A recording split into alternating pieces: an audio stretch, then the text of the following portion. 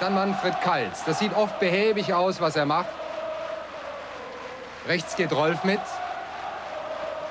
Und dann hebt er den Ball rein und in die Vorlage läuft Thomas von Hesen und der erzielt nach 61 Minuten die Hamburger Führung.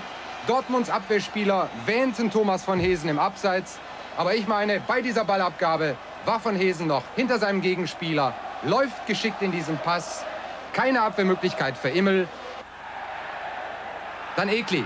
Setzt zum Schuss an, wird von Kals von den Beinen geholt. Und sofort zeigt Schiedsrichter Hans-Peter Delving auf den berühmten Punkt. Michael Zorg gegen Uli Stein, der bis dahin die Dortmunder Stürmer mit seinen Paraden zur Verzweiflung trieb.